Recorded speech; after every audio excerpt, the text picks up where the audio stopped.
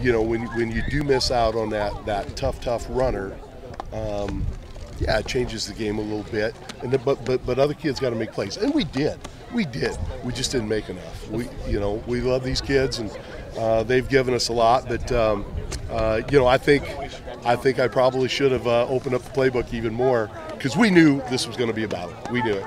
The, four, the fourth down plays in the fourth quarter, you had to be thinking fourth and seven at the nine. It could go either way. Uh, and then the, the fourth down at the 25 or whatever, uh, those are pretty critical plays. Yeah, they were. They were, and and we just to to to Skutt's credit, we weren't getting our receivers open, and and I thought. And granted, I'm watching good football teams play Scott, and I, I saw some plays that we liked, and we thought we could get open, and and and that just didn't materialize enough for us, and and uh, um, so w- when when we can't go over the top and everything's got to be a grind, it's hard with a 135 pound running back. Thank you so much. You bet. Thanks, Dirk. Do you feel the defense played well enough? to- Oh, absolutely, absolutely. I, I think the the one thing our defense always has played well enough to win in all 11 of our games, and and because there's a lot of games, even when we scored a lot of points, they set us up in short fields. So so so I think that. Uh, that's uh, something that they've done. We and we knew going in we had a good defense, but we thought we had enough speed on offense to make some noise.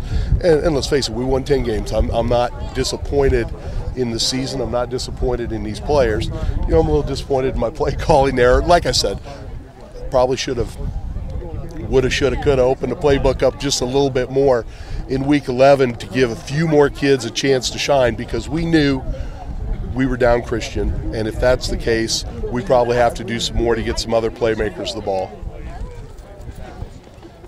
and just the season overall? You know, I told these guys we're going to go back and look at back at this. It's awful special. Um, you know, to win 10 football games, to be district champions, be Trailblazer Conference champions. I'm proud of these guys, and, and I'm happy for them. Would, would, did I want them to go to Lincoln? Absolutely. I wanted me to go to Lincoln, but but but uh, um, uh, uh, just just very proud of them. Uh, you know, we've won. Gosh, you know, when you we've won. My math isn't the best, but we've won, you know, 18 of our last 22 games, and and that's gosh, that's hard to do. That's hard to do, especially um, when uh, you know when we have 60 kids out for football, and, and they have and other teams like us have 90 out for football, and and that's that's not an excuse, and that's not any anybody feeling sorry for anybody. It's just a fact of the matter. Our depth wasn't quite as good as we'd like it at some points, but for the most part, it's good enough. And, and we had we got playmakers, and uh, would have been it would have been great to get them a few other guys the ball here uh, in open field. And, and and once again, I think you have to give Skutt's defense and their their prep uh, uh, credit for that because there were there were things we thought we would get open and we didn't we didn't.